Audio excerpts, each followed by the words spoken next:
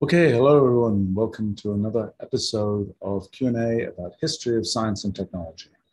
Well, I'm happy to try and uh, tell you about things I know, both from my personal experience of uh, the last, I don't know, 50 or so years of, of uh, uh science and technology, or things that I've studied for other reasons.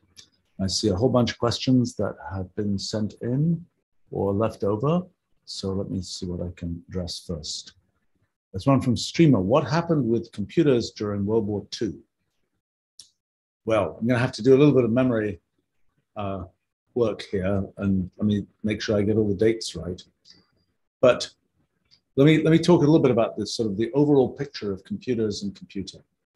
Um, electronic computers, digital electronic computers of the kind we now routinely have, basically came into existence after World War II. Uh, ENIAC, for example, first big big one in the U.S. was like 1946. Um, it was, and, and so what did computer mean before that time? Well, first thing is that more common than computer with an ER was computor with an OR, a person who would compute things. And that was a serious and important profession was just being able to compute things. And so there were many places where uh, computing of that type was important. So, um, uh, for example, ballistics tables. Um, I think the ENIAC was originally developed in connection with the Aberdeen Proving Ground, um, and uh, uh which is a ballistics um, uh, question of ballistics. So, I mean, the, the basic issue is you're going to shoot a shell you know 10 miles or something from a very big gun and it's going to go in a roughly parabolic trajectory but exactly where is it going to land uh, when you take into account air resistance wind uh, the rotation of the earth all these kinds of things um, that turns out to be a problem that is hard to compute and for which there was a great desire to have uh, more efficient methods of computation. I mean, people typically use tables that have been pre-computed to do those ballistics computations um, before there were electronic computers to do them. And uh, the, the first computers of that type were developed to produce the tables. But let me go back a little bit in history. Um, so uh, mechanical computers had existed uh, from, well, the earliest example we know is the Antikythera device from around first century BC to first century AD. But it's a it's an outlier. It's the only one of those we know in antiquity. Um, the uh, kind of mechanical computers, which are essentially like odometer-like wheels that you could use for addition or multiplication uh, and so on, those started to be developed in the mid 1600s. Um, so 1640-ish, uh, Pascal um, famously had an early such thing. I think it was a chap called Schickard, who's the earliest known example uh, as a person who interacted with Kepler and built, I think it was a wooden device which has not survived. The Pascal device is, is made of metal and did survive. And a lot of other people got into the act. You know, Gottfried Leibniz, for example, late 1600s, uh, spent 30 years trying to, uh, to perfect kind of a four function uh, plus minus times divides uh, kind of, you know, mechanical computer made of brass. You can actually see the thing that he, he made um, uh, in his archive in Hanover. Um, but uh, uh, there was sort of steady improvement of mechanical computers. And when I was a kid, for example, uh, mechanical computers were still a thing.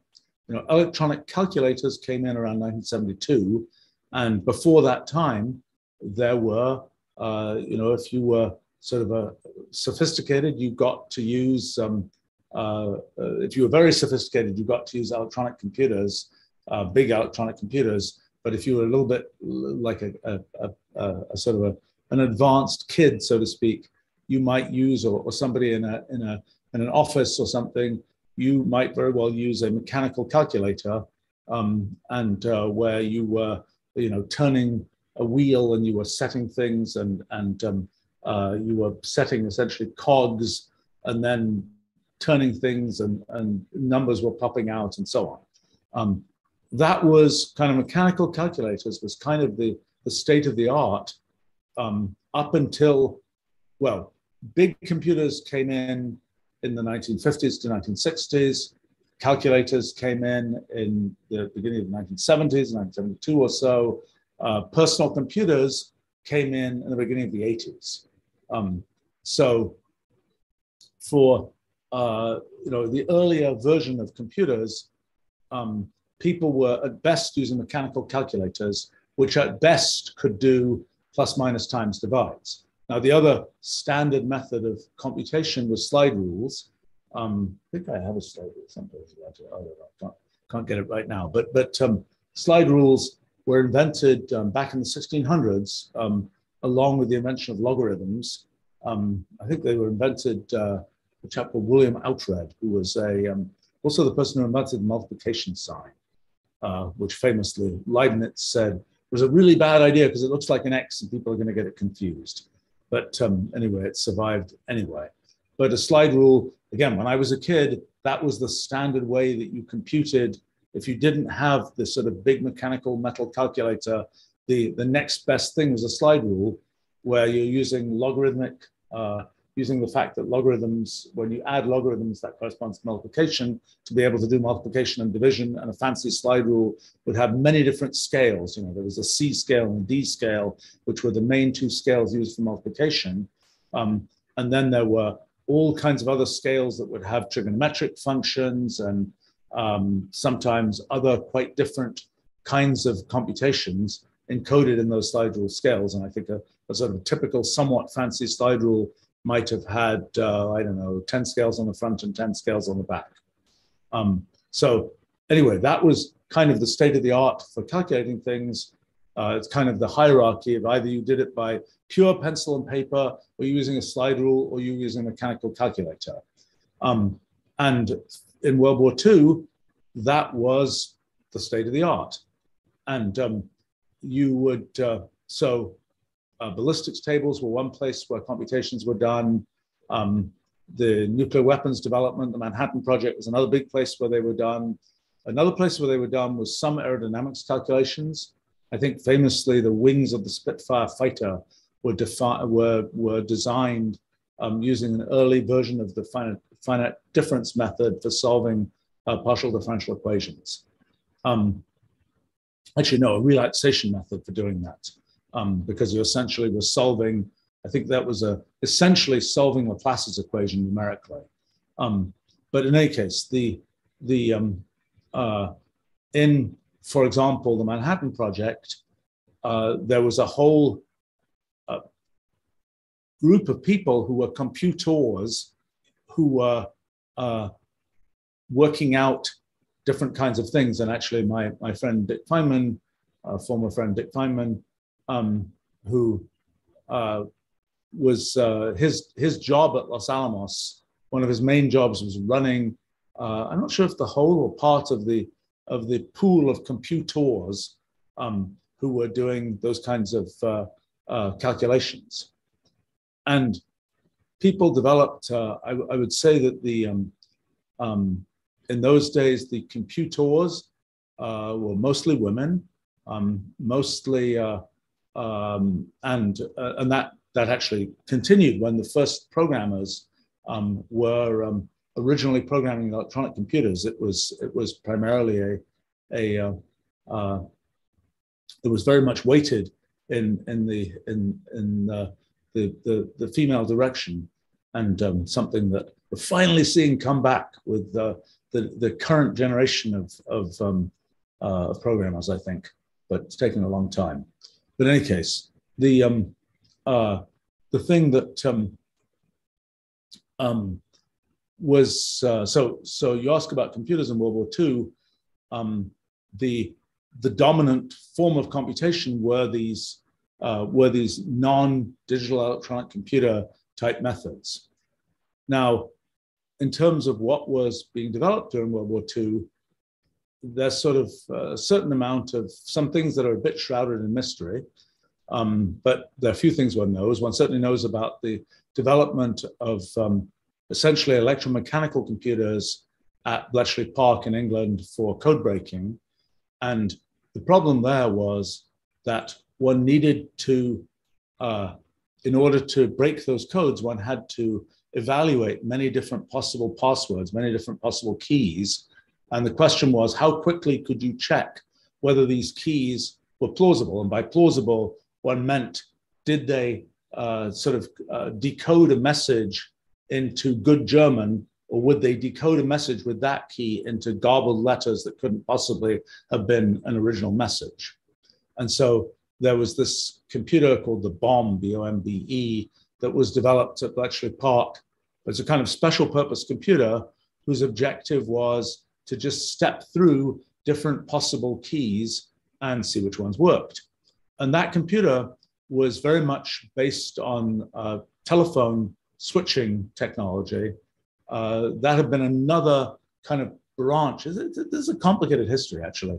The um, um, in the development of computers, okay, I, I, should explain a little bit of, of the of the history. There were mechanical computers, and there was sort of a, a, a push to think about could we automate the operation of a mechanical computer, of a, of a mathematical calculation mechanical computer, could we make that electronic? That was what led eventually to the ENIAC. Um, the, uh, there was sort of a big innovation, which was the stored program computer, where instead of just having to set up with kind of a plug board of wires or, or some other method, um, set up in hardware what computation one wanted to do, it was possible to in effectively store in the memory of the computer um, a specification of the program and then execute it. And that was the thing that that um, uh, came in. And there was a chap called John Atanasoff, who was a physicist in Iowa, who was um, uh, involved in what what may have been sort of the first stored program computer um, around the around maybe the uh, 1940-ish, maybe that kind of time frame. Um, it's always confusing because I grew up in England where the, the dates of World War II are 1939 to 1945. Um, in the US, they're obviously different. Um, 1942, I guess, to 1945. Um, so when people say during World War II, they um, the dates are um, uh, uh, they're, different dates that one thinks of. In any case, the um, so one branch of the development of computers had to do with let's let's automate the mechanical calculators, so to speak. Another branch of um, uh, computing had to do with the computers that were used for, uh, for example, um, cryptography, cryptanalysis, like the bombs at Bletchley Park, which were a little bit more special purpose. They were not intended to automate mathematical calculation. They were intended to automate this process of stepping through these different possible keys. And as I say, they were using technology that have been developed for the uh, electronic switching system for telephones, where you know back when telephones were first around, you know, 120 years ago or something now, um, they um, uh, that was the thing where where um, um, the it's, it's um, ringing in the background. It's very curious. Um, okay, the um, presumably stop. It doesn't stop it, um, um, well, gosh, if it really doesn't stop, I suppose I can stop it. No, it stopped.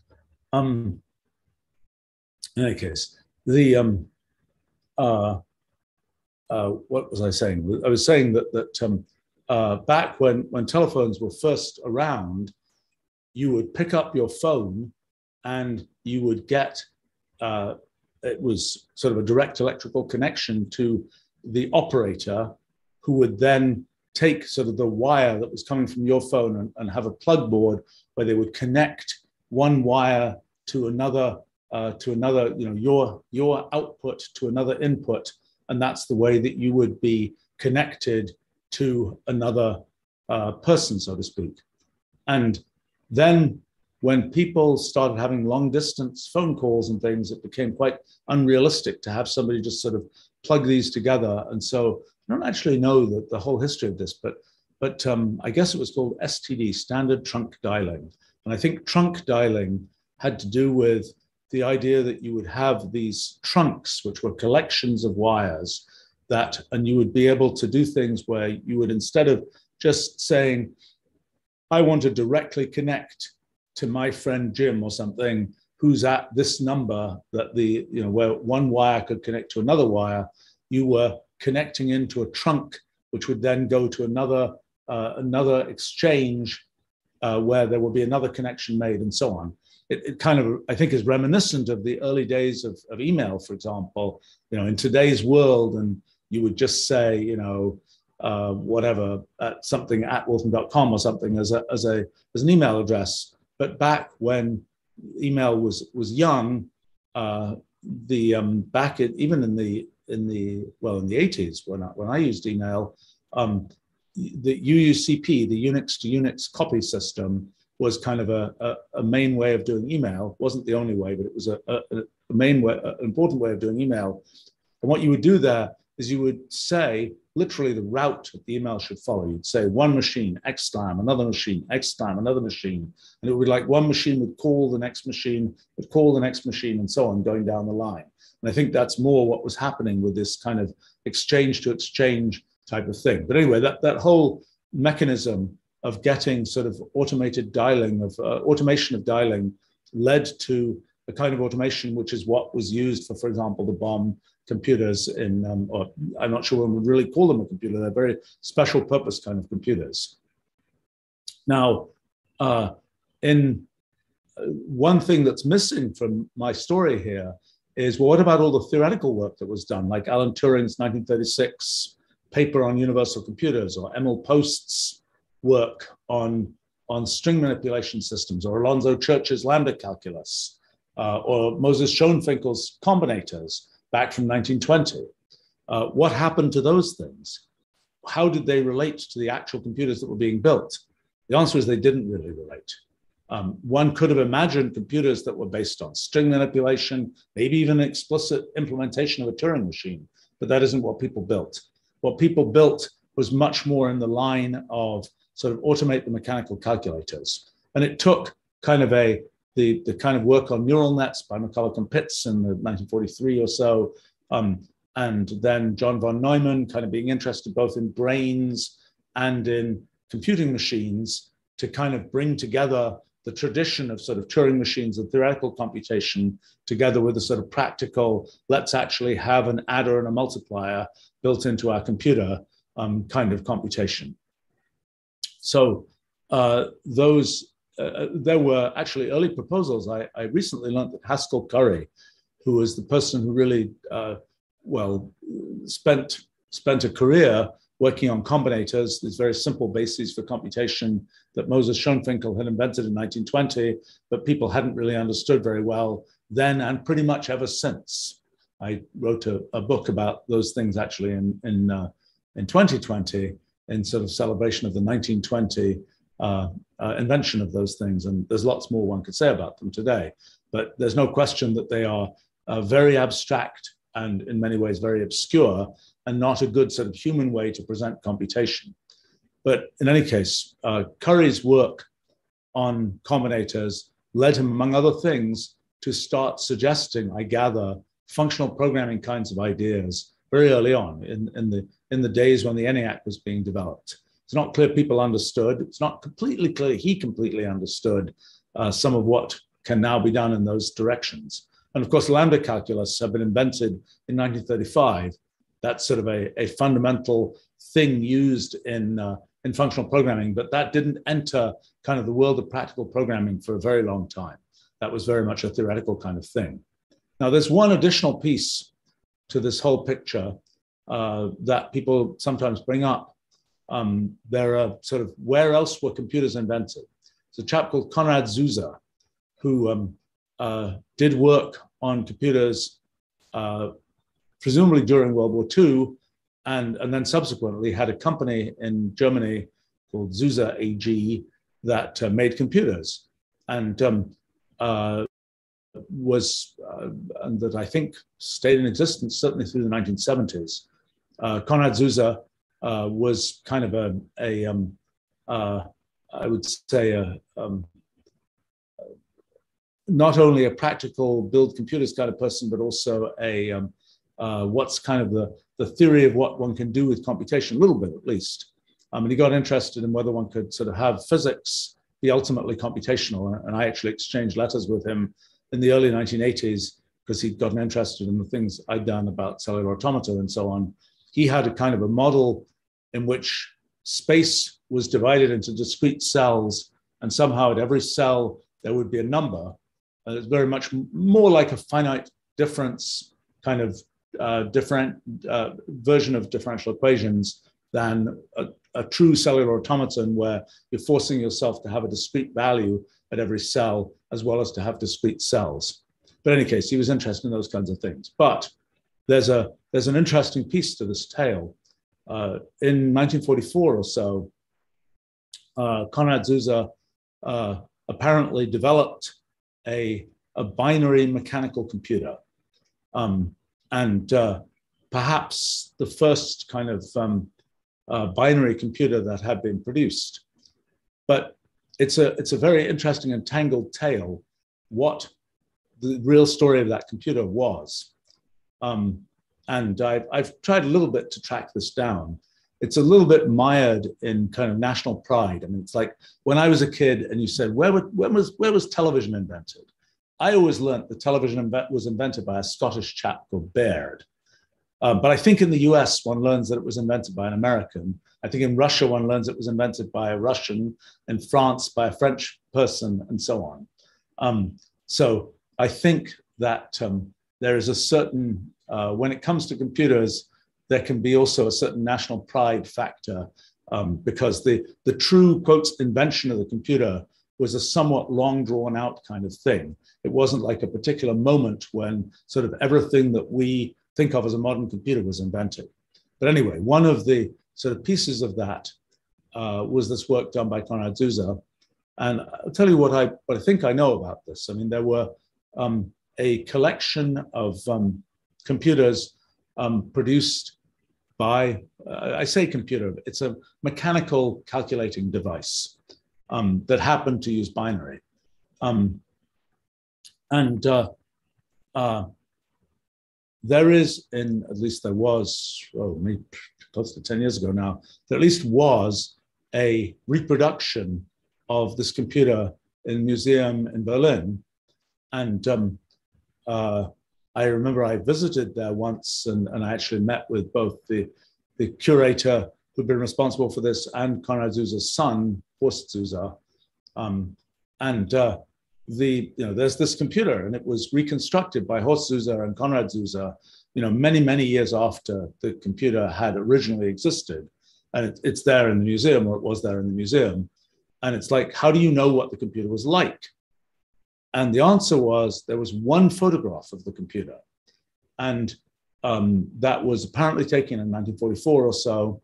Um, and uh, the computer in the photograph actually didn't look much like the computer that was in the museum but sort of it was it had been sort of flattened out and turned around and so on. So perhaps it was the same kind of kind of structure, uh, but I think some of it may have been kind of uh, almost by memory 30 years later. So I'm not sure how how reliable that will have been. But the real question that I had was: This is a computer made of metal. What happened to it? It was, you know, you can't just, you know, it's a big object made of metal um, uh, uh, steel, actually. What, um, what became of the computer? Well, what I had heard was that the computer had been in a house, the, the house of Konrad Zuse's parents in Berlin, and that the house was bombed in, in World War II, and the computer was destroyed. But so then I, I was like, but, but, you know, a house is bombed.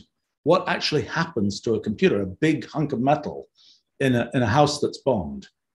And um, the, the answer seemed quite obscure because it was like, well, where was the computer? Was the computer, you know, on the third floor of the house? Was it in the basement of the house? Uh, what happens to a big chunk of steel if a house collapses on top of it? You know, what, what was the whole story? And, and the question that I asked right there was, where is this house? Well, the answer is it was about five blocks from there. Unfortunately, I had to go catch a plane, but I could have uh, investigated even at the time. but it was uh, about five blocks from there or something, and it was just on the western side of where the Berlin Wall had been, um, in an area that had been rather a, a kind of dumpy area, but had been um, coming up in the world um, since the fall of the Berlin Wall. But in any case, the, the question then was, well, okay, what happens to a computer that is, you know, where was the computer in the house? Well, it was thought to have been in the basement. Okay, if it's in the basement, a house maybe collapses on top of it. Uh, but that means it's sort of an archaeology problem. And so I subsequently asked some people I know who've done urban archaeology, um, what, what would you find? What would happen in this case? And they were like, well, it'll be there. You know, something will be there. It may have been squashed and crushed and things, but it'll be there. Um, and uh, if it, it, and and so then there's a question of okay, uh, the, the the people who I asked about urban archaeology did say urban archaeology is a complicated thing to do because there are all kinds of permits and ownership questions. And they said often the people don't want you to find the stuff that you would find with urban archaeology. And um, so I, over the over the years, I've I've occasionally made inquiries about the Zuse computer and what really happened to it, and and it kind of, uh, you know, at first it was like it was in this house. Someone knows the address of the house. Actually, it was two houses next to each other. And in Germany, uh, the, the, property records are not public, so it's not easy to just sort of look up what the what the ownership history of that house has been. Um, but uh, then then it was like, well, well, let's you know, we did find out something about this house, and then well, actually, maybe it isn't in the house, maybe it's in this underneath this park that's next to the house, and then well, actually, maybe it was an air raid shelter that was somewhere different that had been moved to, and somehow the computer has been on the move, but it's never been found. And, and I have to say, I think it would be very interesting to find this computer. I do think that there are questions about uh, both, well, there are questions about what one would find if one found the computer. For example, it's not obvious uh, where, uh, how you get big hunks of metal during World War II in, you know, late in World War II in Berlin. Um, and there's sort of probably a, a complicated tale of where that metal came from and sort of how militarily related the computer really was. I mean, the original claim had been that uh, was a uh, just a student and just building this computer for fun. People have told me, series of different people have told me all kinds of tales. I'm afraid not. The tales don't completely fit together, so I'm not sure they're worth repeating because they don't really um, uh, that, they don't really um, uh, sort of connect um, the uh, about um, so the relationship of Zuse to the um, uh, German Air Force, particularly, and um, other parts of the German sort of state apparatus at that time. Anyway, so that's a that's a mystery out there. That's a sort of uh, history of computing mystery that's still out there. It probably will eventually be resolved. I'm afraid um, uh, there's still people around. Um, I talked to one chap in his 90s who had been uh, who uh, had been a, a, user of the Zuse computers and so on, um, the electronic ones that have been produced after World War II. Um, and uh, uh, but I'm afraid it's you know time is sort of running out in terms of people who had first-hand knowledge of some of these things. Um, but you know, there's still the archaeology when that fails. Okay, let's see. Um, that was a very long answer, sorry, to, to that question. Um,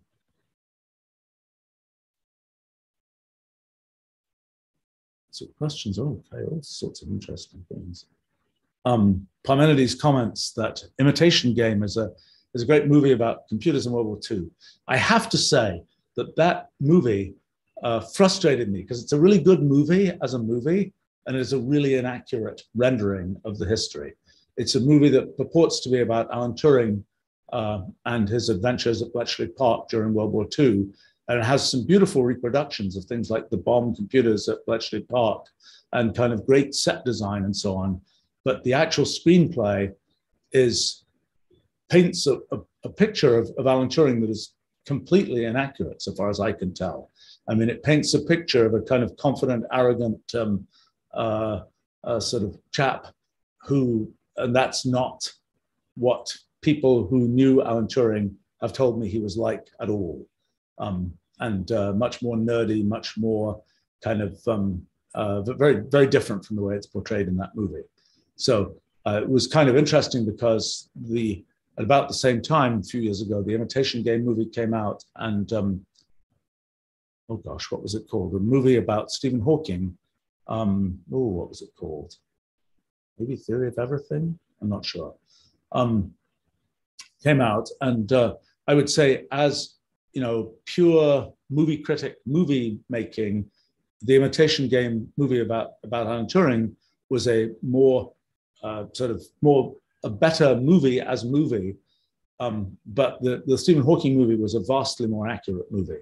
I mean, I had in fact known Stephen Hawking at roughly the, the more or less the time period, a little bit after the time period that that movie uh, was, was covering. And uh, it seemed pretty accurate and pretty good um, rendering of, um, and, and, actually I had known um, uh, there were all sorts of physicists and things portrayed in that movie, most of whom I, I, I, I knew or had, or had known. And I would say that that movie, from what I know, was a pretty accurate movie, but less less good entertainment value, so to speak, than the Imitation Game. Um, so it goes. I mean, this is this is one of the uh, sort of trade-offs of um, uh, of movies. I in the times I've helped with with movies and things, and you know, you try and inject some science or historical accuracy or something, and um, but you have to be aware of the fact that the arc of the story as far as the making of an entertaining movie is probably more important than the accuracy of, uh, you know, is that exactly the right thing to say scientifically or whatever else. Um, there's a question here on um, uh, from Philip.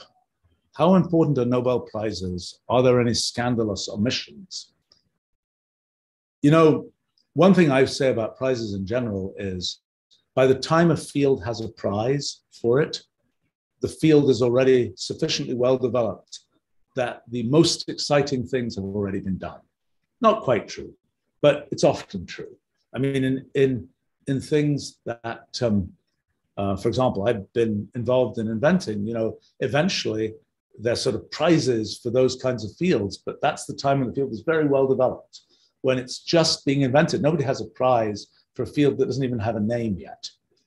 So, in the Nobel Prize, I would say that um, uh, it's a it's a funny thing because it is a at the time when the prize was introduced by Alfred Nobel, um, inventor of dynamite, if I remember correctly.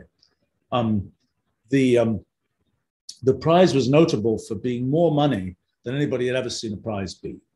Um, so it was immediately kind of very famous in the world. And, and I know it had a lot of sort of special treatment. Like I, I remember the, the US tax code used to have a special exception for Nobel Prizes not being taxable.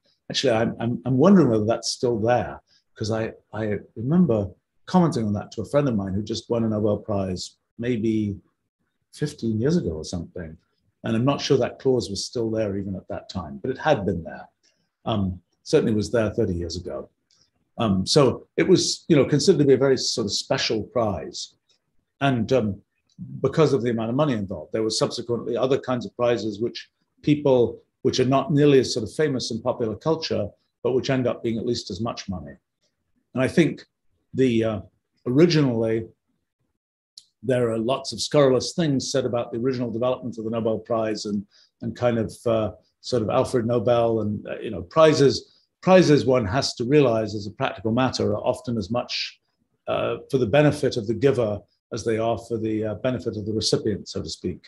And I think this was sort of a PR induced um, uh, prize idea and uh, the the original Nobel prizes are, are sort of Sweden based, and then there are extra ones like the Peace Prize and so on, which are and the Economics Prize, which I think are Norway based, if I'm remembering correctly.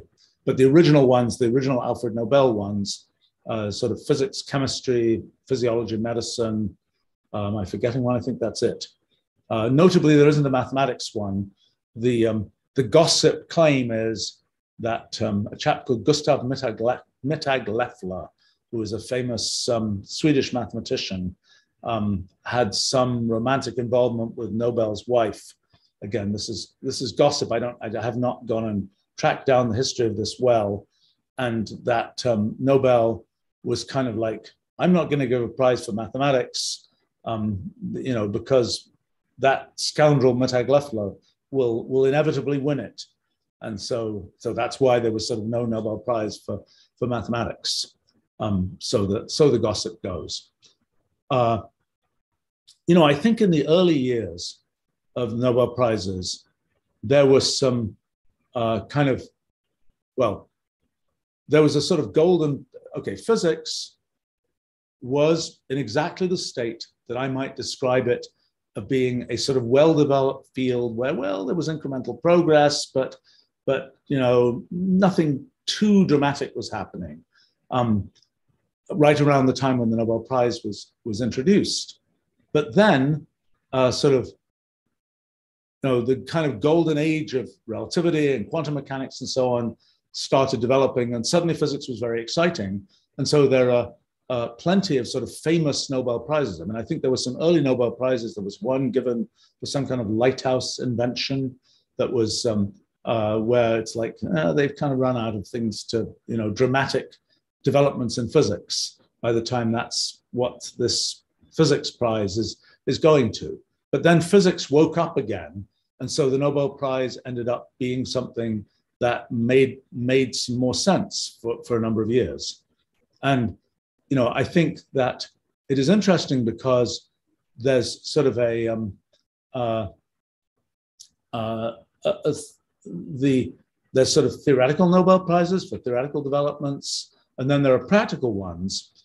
And for a while, it was like there were wholly there was a whole series like everybody who'd invented a kind of particle detector eventually won a Nobel Prize, so to speak, where they were kind of methodological prizes or, or instrumentation prizes more so than sort of uh, conceptual prizes or theoretical prizes. And I think there was a long kind of a, a belief, well, you know, it can't really be a pure theoretical prize. It's got to be sort of something where uh, the thing was sort of reduced to practice and somebody actually observed that effect and so on.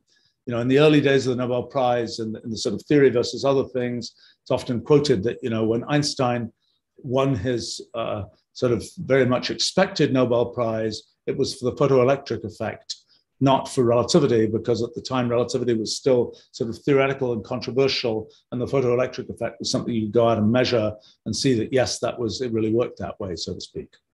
Um, I think that uh, in I must admit that with some exceptions, I have uh, the you know, as, as different fields have gone up and down in, in energy levels, so to speak, the prizes have been more and less interesting. I mean, even in physics, for example, it's I always uh, it's always a bit funny when I when I see the you know the latest Nobel Prize announcement. I've never heard of the people who are winning it, and I really do follow physics and have done for many many years.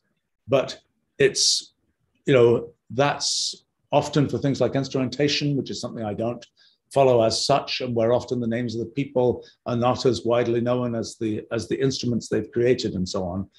Um, in you know in recent years, sort of biology has been a big kind of area because it's a very hot field. You know, and there have been things in physics like the gravitational wave discovery, which was a real sort of uh, you know old style Nobel Prize type story, so to speak. Um, I think the uh, there's also the question of you know, what does it do to a field when there's a prize that people think is really worth winning? Um, and I'm not sure how, uh, when I was doing physics in the 19, late 1970s and early 1980s, it was kind of like people would always say, oh, well, if you do that, you know, you'll eventually win a Nobel Prize type thing. And that's, you know, then you've really made it kind of thing. Um, I'm not sure that that's a great feature for a field. I've certainly seen people uh, for whom that's been a very negative thing. You know, I'm reminded, I haven't thought about this for ages. I remember when I was a kid, and it must have been, oh, when was it? Probably early 1970s, because I remember it was on a, uh, yeah, black and white television. I remember seeing some, some movie type thing whose title was How to Win a Nobel Prize. I'm, I'm, sure in the modern days, one could just look it up and it's somewhere on YouTube. But I remember it, it had, it was kind of funny. It had a, it was a, um, uh, you know, the fact that it was being broadcast on British television tells one, I don't know what it tells one, but um, uh, uh, a different, perhaps a different kind of programming than, than one would normally find today. But um, it was, uh, uh, it had sort of these amusing little little segments and it had sort of a card that came up at the end of each segment and, and one of the cards was don't die um, or don't die too quickly because you know it pointed out you know the, the average time from a discovery being made to the you know prize being given i don't remember at all what the what the answer was but you know 30 years or something like this. And it, it had um i think it had other ones. It was like um uh I'm trying to remember. It's been a long time. There was probably a, a don't nominate yourself and there's a um, uh, there, there were some other ones which were kind of um, uh, a little bit more hard to arrange, so to speak, um, uh, kinds of uh, kinds of concepts. But the the don't die one is one that um, I sort of remember as a as a um, as a conclusion there, um, and that's sort of you know that there's been a certain sense of of some kinds of uh, there's been a certain oh you know, that thing happened, but that was 40 years ago. And oh, they're just around getting around to giving the prize now. That's old hat type thing. So, but in any case, in terms of the, the dynamics of a field where the Nobel Prize is like a, a an important thing, which I, I, think it is more important in some places than in others. Um, I think that uh, uh, somehow in um, in economics, it's almost like every any economist I've ever heard of has got a Nobel Prize at some time or another, and um, uh, it's um, uh, and that I don't know what what you know. There's probably some dynamics that have to do with the different sizes of fields and things like this, but um, in in physics, where I know it in a bit more detail, uh, there are, I would say, there's the the sort of the worst case is people who made a discovery which they were like, well, this should win a Nobel Prize. And then they waited for years and decades. And eventually they got the Nobel Prize, at least in one case that I'm thinking of in particular. And um, I, I, it seemed like a whole lifetime was spent waiting for a Nobel Prize. Um, in the end, um, the person uh, involved was a friend of mine. Um, it's uh, um, the um, uh, you know in the end i happened to drop in on him and on his office shelf was this box of sort of nobel stuff a cardboard box. And i was like well did it actually turn out to be exciting? And he was like no not really. It was kind of you know the parties were kind of fun but it wasn't uh, uh, wasn't that exciting type thing. Um, i think that the um, uh, you know there have been other cases um, oh for example um, cases where there've been endless sort of uh, maneuvering for you know who will get the prize for what. I mean i certainly i know plenty of cases where people spent you know ages doing sort of scientific politicking of uh, uh, you know always mention me in connection with this so that um, i'm part of the story of the prize. I'm, I'm thinking of at least uh, three major examples of that. Um, and and then there were cases, uh, you know, one I could mention was um, Benoit Mandelbrot, the um, inventor of fractals and so on, who was quite obsessed with the idea that he should win some Nobel Prize, whichever one was available, so to speak. So first it was the physics prize, then he kind of segued to kind of going for the economics prize, and maybe there was even a chemistry play in the middle of that. And I remember actually, now that I'm thinking about it, back in 1984, I was at a a conference that was put on by the Nobel Foundation um, uh, uh, that was, uh, I don't think it had anything to do with the Nobel Prize. I just think it happened to be the same foundation that was putting it on. Um, although probably a bunch of the people, in fact, yeah, I, I, remember talking to some of the people who were there who were part of the you know, Swedish Academy of Sciences and, and part of the sort of Nobel Prize apparatus. But this particular conference had no particular Nobel Prize character to it, so to speak. Um, but anyway, I was there, and Benoit Mandelbrot was also there, and I was young in those days. Um, Benoit was not quite so young, um, but Benoit was like, you know, at every possible opportunity was kind of um, uh, uh, sort of um, canvassing for a physics Nobel Prize, and it's like Benoit, why do you care? You know, it's like like nobody. You know, fractals are important and they will be remembered, and nobody will know or care whether the person who invented them won a Nobel Prize or didn't. It's the the prize pales in comparison to the actual discovery, and that's that's usually the case for for significant discoveries. And I think, um, but you know, for but I think, I mean, my, my own feeling is that prizes are a complicated piece of tactics for a field. Uh, as I say, prizes are often, as a practical matter, much more for the benefit of the giver than for the benefit of the recipient. Um, and uh, but even if you sort of uh, consider the cases where prizes have been set up for the purpose of guiding a field, it's a complicated issue. I mean, I have set up a few prizes myself for specific problems and projects that I'd like to see solved. And, and one in particular, the 2 3 Turing Machine Prize from 2007, that was a big success because uh, a young chap called Alex Smith, um, you know, I put up the prize and four months later, he'd solved it. I have another one for Rule 30, various features of Rule 30 that we put up in 2018 or 2019, which uh, is still very much open. And Another one for S combinator universality, that was from uh, 2020 or 2021, actually. Um, and uh, that um, I'm a little bit afraid that those prizes will remain open for hundreds of years. Um, and uh, uh, that's always a risk, but at least they're very specific kinds of things aimed to kind of highlight the, the value, I believe, of solving particular kinds of scientific problems uh, rather than kind of more of a, um, uh, an after the fact kind of uh, that was cool type thing. Um, so uh, the um, okay, I see somebody um, apparently said that, that the Nobel Prize is taxable income now. It definitely wasn't because I remember seeing that very line when I first moved to the US. I remember seeing that very line on the tax returns, um, and uh, uh, certainly by the rules as I understand them today, would be taxable income. I remember that in the, um, uh, when I got one of these MacArthur Fellowship things in 1981, uh, that was a time when it was still the case that if somebody just gave you a, a thing, gave you money, and you didn't have to do anything for it, then that still didn't count as something taxable. And I, that loophole was subsequently, uh, subsequently removed, uh, at least largely so. Um, the uh, yeah, Philip is commenting that some Nobel Prizes have been a bit random. Penzias and Wilson, this he says, um, got the prize for discovering the cosmic microwave background, but George Gamow, who predicted it, um, got nothing. I, was Gamow still alive?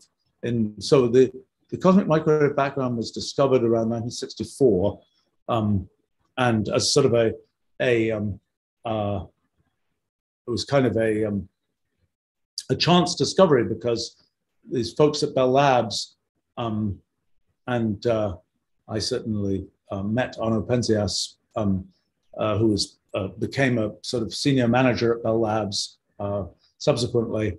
Um, the um, uh, they were trying to do early satellite communications because there were now satellites by 1964 or so, and um, the uh, they wanted to set up an antenna that would be a very high gain antenna that would be um, uh, uh, picking up, you know, even very small satellite signals. And they discovered that they just kept on seeing noise in this. Um, their antenna kept on um, picking up uh, radio noise, and um, uh, that was um, it was eventually realized that there was this 2.7 Kelvin background radiation that was being being detected there.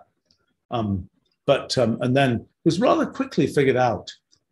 In those days, people weren't sure about the early the the origins of the universe, and there were really two competing theories: the the Big Bang theory that said it all started from a, a, a small sort of hot thing and then expanded outward, and the steady state theory that said that gradually new matter was coming to, into existence. The universe was expanding by virtue of new matter kind of popping into existence in different places around the universe.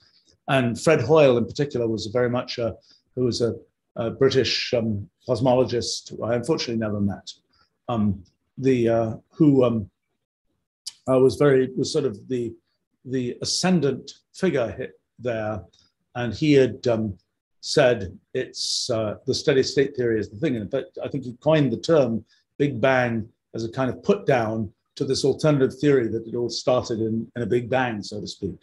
But I think it was very, very quick when the cosmic microwave background um, was, uh, or what was originally called the microwave background radiation, um, was uh, was discovered. I think it was surprisingly quick that people realized that that was probably leftover radiation from the Big Bang, um, uh, and that had been a thing that um, George Gamow, who'd been a nuclear physicist, uh, had um, sort of predicted. He was um, involved in early ideas about um, the production of, um, of elements in the early universe through nuclear reactions and so on. Um, and uh, I think um, um, uh, I, I, never met George Gamow. I'm not even sure um, how long he lived. I think he was at University of Colorado in the end.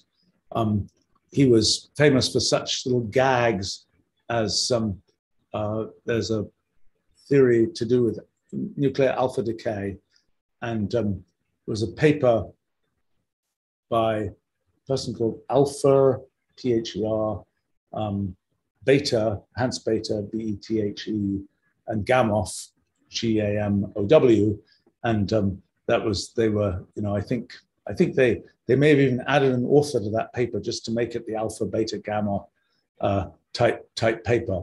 I think Gamow was then involved in lots of other kind of exported physics kinds of ideas um, including questions about the genetic code and things like that, which I think didn't work out perfectly in the end. Um, he also wrote a number of uh, fun, popular books about relativity and another thing. I think he, I think he wrote an autobiography called something like um, "My World Line," uh, playing on the kind of relativity uh, uh notion of, of that, if I'm remembering correctly. In any case, um, yeah. Well, so the it's um, uh, on the yeah one of the things that um, um, people uh, you know depending on how you define sort of the the the prize domain so to speak people regularly send me things saying you know look the instrumentation that you've produced for physics namely mathematica and so on is you know has been a really important thing in, in the history of physics and it's like, but I certainly wouldn't, you know, it's like from my point of view of the definition of sort of physics prizes, uh, you know, this is tooling, so to speak. But I guess it's it's no more or less tooling than something like a bubble chamber. Um, let's see. Um, there's a question here about from Diana about uh, when and why did apprenticeships end? Seems like lots of great people were apprentices. Um, and she mentions Benjamin Franklin. I actually, yes, I, I guess I did know that, that piece of the story. Apprenticeships, well, still exist in many, for many practical purposes, although they're not usually called apprenticeships. But the concept, I think, of apprenticeships was something that was really big when there were guilds and when there was this whole kind of hierarchy of you know first you joined a um, uh, some you know blacksmith or something as an apprentice and then you became i'm not sure of the sequence i think journeyman was one piece of it and eventually you became a, a sort of full guild member blacksmith. And it was kind of a process of first you're kind of working with the person and then you kind of gradually advance to the point where you can sort of take over their job. Well, for example, the way that a lot of academia works and this concept of kind of graduate students who will be the kind of um, the apprentices, so to speak, uh, to the, the professors it's not really quite defined that way, and, the, and things worked a bit differently. And the history of universities was a little bit different in terms of the way that was set up, because universities didn't really, the concept of research as kind of a, a key mission of universities is a comparatively recent phenomenon in many ways. Um, I mean, in, in the earlier days of universities from the 1200s and so on, it was much more of a, a kind of professional uh, education often for the church, um, sometimes later on for medicine and things like this, um, but uh, law. And I think it was kind of much more of broadcast education, so to speak. The concept of research being rolled into that is a somewhat more recent phenomenon. But by the time that was being rolled in, and the idea of PhDs and things like that, that's a, a you know last well last hundred years, a bit more than that, but not much more than that. I mean, I, well, Actually, that's not quite right. There were even in the 1600s, people were getting, at least in continental Europe, people were getting doctorates. Um, I think that wasn't a phenomenon yet in um, uh, in the UK, for example. But um, in any case, the, the, the whole idea that that sort of that that universities would be these places where where research as well as sort of broadcast education happened um, and then there would be people who would have students, and those students are sort of apprenticed. That's, that's a thing very much like the traditional apprentice system. It is interesting that apprenticing has been less of a thing in some of the well and, and, and by the way uh, for example in medical education um, that's again uh, quite a you know it's not not quite configured as an individual apprentice to an individual doctor, but it's still the same kind of training type process. Um, the fact that that hasn't happened in some areas like programming is sort of interesting. It looked as if it was going to happen, and then it kind of didn't happen. In a sense, some of the things that we do, for example, with our summer school and other things like that, are sort of a, a version of a modern apprenticeship kind of thing and, and I suppose to some extent internships, although the, the meaning of internships in the world is sort of gradually inflated in strange ways, but but um, uh, the um, uh, that's kind of another another modern version of kind of the apprentice concept. So I, I think it's still kind of alive and well, but insofar as the guilds are not something one talks about a lot, it's uh, uh, that doesn't have that same sort of uh, official status that it might have had in the past. Let's see, maybe one or two more things here. Um,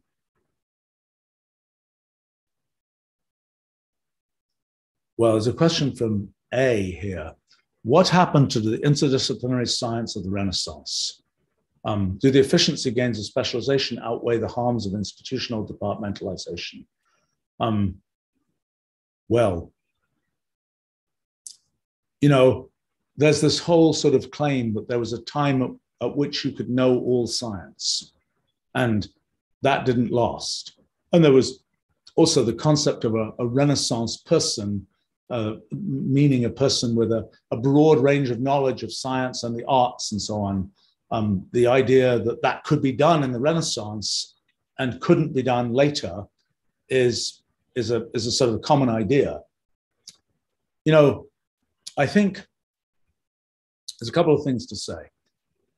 First of all, in any given time, in a given field, there's a certain, certain sort of corpus of knowledge. And gradually more things get found out and there's sort of more pieces of knowledge that get filled in.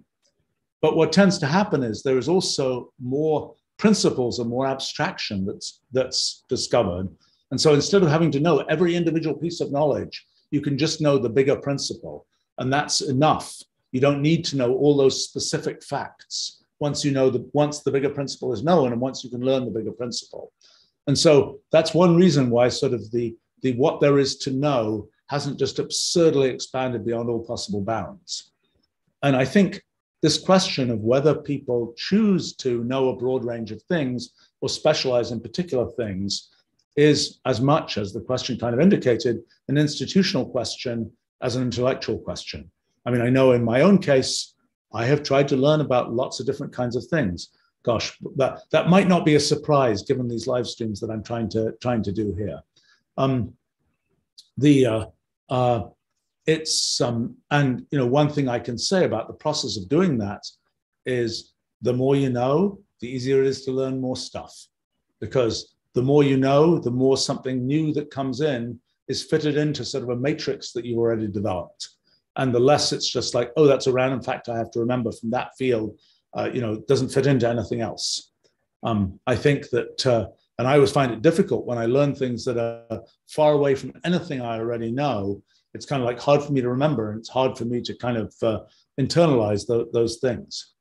So this question of, of sort of specialization and what that means. So you might think that to contribute to a field you would have to be deeply and specializedly knowledgeable about that field.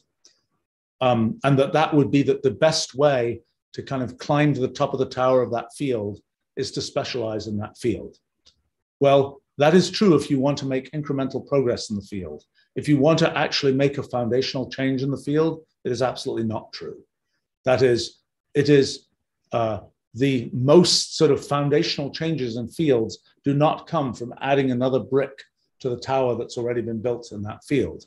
They come from taking things that were not in that thing that was already built and wheeling in some new idea, possibly from some other field, possibly just a, an original idea that had not existed in any field, and using that to kind of uh, sort of foundationally push forward a given field. But it is certainly, if you are trying to sort of have a, a, a thing where you have tens of thousands of scientists of a given type, then the structure will be such that you learn the tower, you can add another brick to the tower. That's a much more realistic thing for tens of thousands of people to meaningfully contribute to than to say, come in with these, you know, all these wild ideas from the outside. That's not a, an activity for tens of thousands of people. That's an activity for much smaller groups of people. But it's something where the, you might have thought that sort of increased specialization would lead to more rapid progress in fields. I think completely the opposite is true. That is, two things happen. One, that once people kind of know so much within some field, they feel like that's the whole field. There's nothing else. There's, you know, there's so much that they've learned. There's a whole sort of room full of facts. And it's very hard to see beyond that because you're just saying, there's another fact. I know this from this area, et cetera, et cetera, et cetera, within this field. So it becomes sort of a, a, a, claustrophobic experience of fact, so to speak, and much more difficult to kind of break out of that and see some, some more foundational kind of progress that can be made. That's one thing. The other thing is that institutionally, it tends to be the case that once you've got tens of thousands of people doing something and you've got hundreds of thousands, you've got professional societies, you've got funding agencies, you've got departments with management structures and all this, well, insofar as they have management structures, but with, you know, tenure reviews and all this kind of thing. The, um, you, you've got a kind of a, an engine that's, that's running in a certain direction. And if you say, well, actually, there's this other direction over here that's really exciting and really innovative, the machine cannot go, it cannot turn itself to go in that direction. The machine already has all of its cogs and gears pointed in, in some other direction, um, in, in the one that had been developed over the course of however many decades. And it's going to keep going in that direction. It has huge inertia and huge resistance to change. So that's something that will happen when sort of when a science is kind of sufficiently successful that it gets institutionalized that way.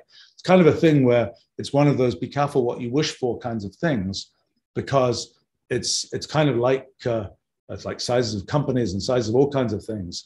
The bigger it gets, the harder it is to turn, and the um, and the more it's just going to keep doing what it's doing for hundred years or more, whatever it is, uh, even if that isn't in fact the, the thing that is going to ultimately lead to the most progress or the most interesting things happening. But you know, it becomes a thing where it is very much an occupation for people, and it's one where there are definite bounds, and people kind of know what to expect. and that's an important thing for many people for for sort of for the parameters of an occupation, and so that's what tends to happen.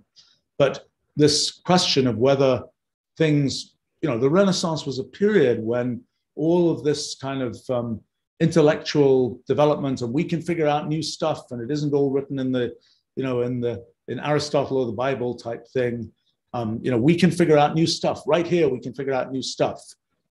When that was a new thing and hadn't been deeply institutionalized, it was something where there was sort of much more flexibility and much more ability to, to sort of be very innovative, so to speak. Now, something one needs to remember when one looks back at history is usually only the sensible and good stuff survives. So, you know, if you look at the average book that was published in, I don't know, the early 1800s, there was a lot of random fluff and crazy stuff. And it's like, you know, this was a, you know, sort of poorly written, irrelevant, uninteresting book. We never heard of it now. And so we might think all the books from the early 1800s, they were wonderful. That was, those were the days when people wrote good books. But in fact, it's a very a biased kind of thing because it's only the good ones that anybody bothered to keep. And, uh, and those are the things that we now think of from that time. So I don't know to what extent the thinking that happened in the Renaissance um, was, uh, uh, you know, we know of Leonardo da Vinci. We don't know of lots and lots of other people who maybe had all kinds of crazy ideas that uh, just, you know, some of them perhaps should have survived. Um, some of them kind of, uh, they weren't that exciting. Um, and, uh, uh, and, and, and had we known about all of those, we might have said, well, there was actually a lot of crazy stuff going on at that time. And yeah, there were a few, few terrific people, but most of it was kind of crazy stuff. I, am not sure about that. Um, oh, there's a question here from Parmenides, are crazy ideas useful to talk about, or are they only good for guiding intuition and research? You know, I, I, that's a that's a pertinent point because I'm about to go to some meeting about what I think is in many ways a completely crazy idea. Um, why am I interested in it? Because it makes me think about a bunch of things. Even though it's an idea which I think is a, at a pragmatic level won't work, doesn't make any sense pragmatically, um, it's still something that kind of loosens up the thinking process to say, uh, you know, to kind of consider that crazy possibility. And I think that um, um, the uh, the thing that um, um I've noticed, you know, and because I do a lot of, uh, uh, I'm often kind of trying to come up with brainstormed ideas about things and so on and in meetings with other people. I have noticed that when somebody says well i have a crazy idea blank blank blank that often ends up being the thing that becomes the winning idea. And because it's kind of like by saying kind of i have a crazy idea it's kind of like the the loosening up of well i'm not don't have to follow in exactly the path we've been following in um, which may have gotten us kind of stuck. It's like there's this crazy thing to talk about. Now, you know, another thing to say about history of science and so on and, and crazy ideas is, you know, it's a weird thing that almost all of these kinds of uh, sort of vague thoughts about how things could work that people come up with and put in fiction and things like this, a huge fraction of those things end up being things that at least have a relationship to something real in the end. Whether it's, you know, the Star Trek computer that we managed to build some version of in Wolfram Alpha, or whether it's um, the, uh, oh, I don't know, some other, or the little communicators that, of course, uh, cell phones are very much like, um, or all sorts of other kinds of things where when there's a glimmer of an idea of how something might work, uh, it often ends up being real in the end. Or these concepts of, uh, uh, well, lots of kinds of things that might we might now say that looks like a laptop computer. Well, the actual way things get implemented is often in detail different, and sometimes the emphasis is different. But you can often look back and say, this thing that people sort of were, were somewhat talking about is not such a crazy idea. Give you an example. In our, uh, so back in the 1800s, when people were thinking about electromagnetic waves, when Maxwell's equations from the 1860s, 1870s had predicted the existence of electromagnetic waves, which Hertz, for example, uh, observed, um, people wondered, well, how do electromagnetic waves work? Are they like sound waves? Do they propagate in something? And that was what led to the ether and the idea that, well, electromagnetic waves must propagate in the ether. And then in the Michelson-Morley experiment in 1900 or so, um, was like, no, there is no ether drift, there is no ether. And then relativity came in and kind of explained how things could work and Maxwell's equations could work out even without an ether. But so then the ether became, well, that was an idea that was sort of thrown in the garbage. Um, and sort of the notion of an ether is this notion there's something that sort of suffuses all of space that leads to things we observe. Well, guess what? The Higgs mechanism in the standard model is essentially an ether. And the cosmic microwave background defines a preferred reference frame for our universe, and we're moving at about a thousandth of the speed of light with respect to that. And in fact, in our models of physics, in a sense, everything is ether. The whole of space is what makes up everything in the universe, and space is this thing that has all of this activity in it. Um, and you could think of that a bit like an ether. Well, then, given the idea of the ether, people had the idea, um, Maxwell talked about this, um, uh, William Thomson, Lord Kelvin talked about it. The idea maybe atoms, people were discovering different kinds of atoms in the late 1800s, maybe atoms are knots in the ether. And then even uh, Maxwell had a, a, friend of his named Tait um, try and classify knots uh, because they thought, well, maybe just like there are about 100 kinds of atoms, maybe when we try and classify distinct knots, it'll turn out there's 100 kinds of distinct knots. And then we'll understand how the um, uh, how kind of how there come to be these discrete kinds of atoms, which are knots in the ether, and so on and so on and so on. And people say nowadays they might say, well, that was a crazy idea, except it's not really that crazy an idea because it's coming back.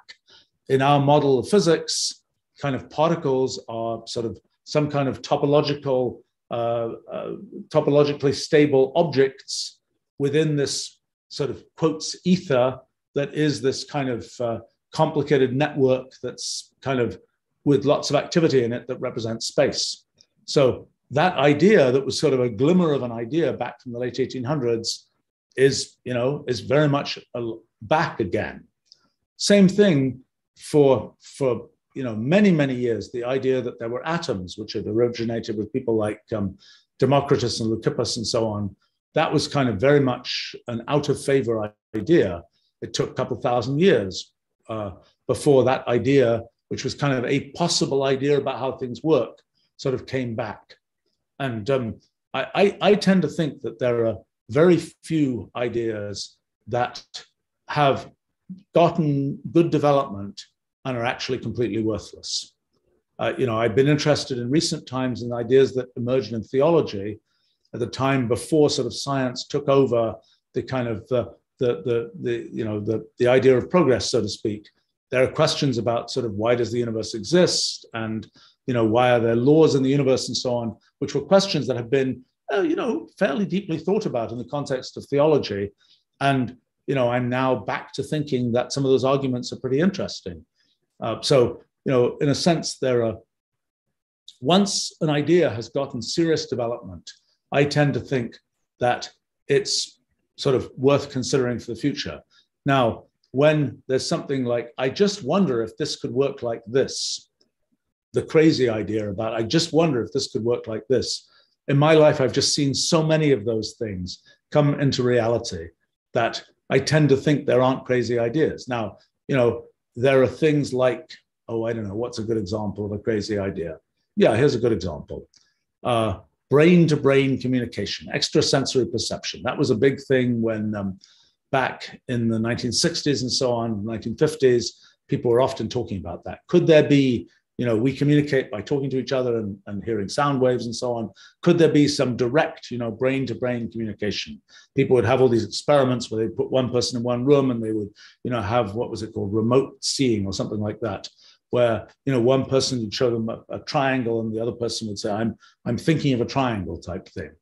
You know could that be is that crazy? Is that not crazy? Well we don't know yet.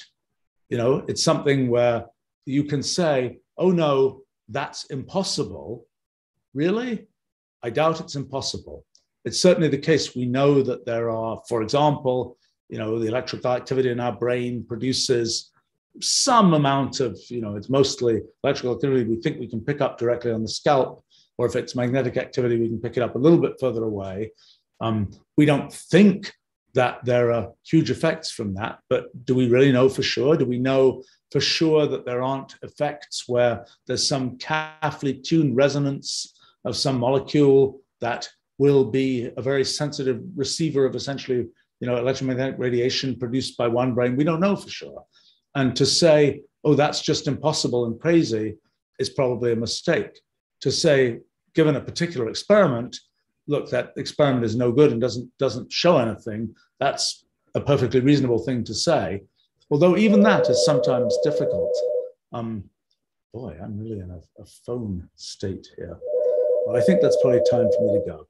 So, um, uh, one second here.